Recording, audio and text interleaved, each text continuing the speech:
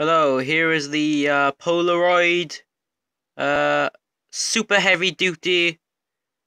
Uh, that's all in foreign languages. It's sort of leaking a little bit there. Uh, I'm not really sure if this battery is leaking or if it's the Duracell that leaked on it. I'm not sure. I'm gonna give it a wipe down. I'm gonna give it a chance. I'm gonna put it back in.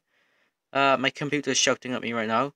Uh, but yeah, I, I, like this one. It's quite a nice thing going on there. I got acid on my hands and my fingers though, but um, yeah, yeah, I like this one. It's a AAA battery.